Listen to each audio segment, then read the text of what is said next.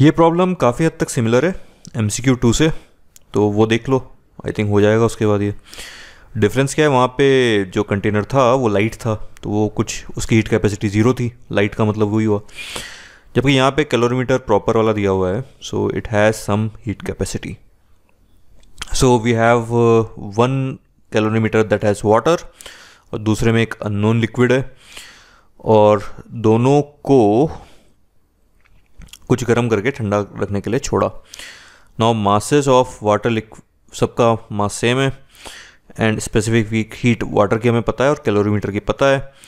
Now given ये कि water वाला 60 सेकंड लगाता है ठंडा होने में, और अननोन लिक्विड 40 सेकंड्स लगाता है when temperature of both calorimeter goes from 50 to 45 so what is the specific heat of the unknown liquid basically एक एक्सपेरिमेंटल सेटअप है।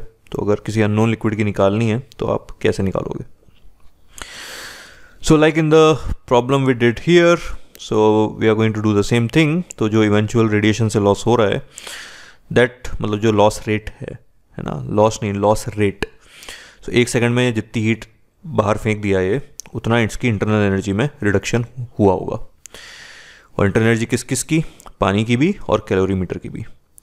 और यहाँ भी ऐसा ही है, जितना एक सेकंड में इसने हीट लॉस किया so that should be equal to loss in internal energy of both this unknown liquid and calorimeter so internal energy reduction rate is equal to radiation loss rate so दोनों के लिए ये equation valid है। अब radiation loss rate हमें पता है it's proportional to difference in temperature so let's say proportionality constant is C and this depends on जो कैलोरीमीटर है वो। उसकी प्रॉपर्टी है, उसका सरफेस एरिया क्या है, उस मेटल की क्या प्रॉपर्टी है ना, उस पर डिपेंड करता है। But it's going to be proportional to temperature difference so radiation heat loss is C to T minus T naught यहाँ भी यही है, इस केस में भी यही है। इधर इंटरनल एनर्जी रिडक्शन रेट तो यहाँ वाटर का कम हो रहा है और कैलोरीमीटर का कम हो रहा है। So M S D T by D T और M W D T by D T ये है।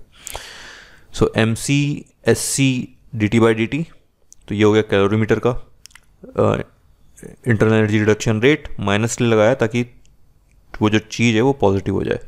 क्योंकि ठंडा हो रहा है तो D T by D T तो नेगेटिव है तो पॉजिटिव करने के लिए एक माइनस लगा दिया। हीट लॉस रेट वाटर का M W S W D T by D T ठीक है? तो टेम्परेचर वाले टर्म्स एक तरफ़ ले आते हैं टाइम वाले दूसरी दूसरी तरफ़ ले जाते हैं। अब लिमिट्स क्या हैं? टेम्परेचर की 50 टू 45 और दोनों केसेस में वही है 50 टू 45 ही है।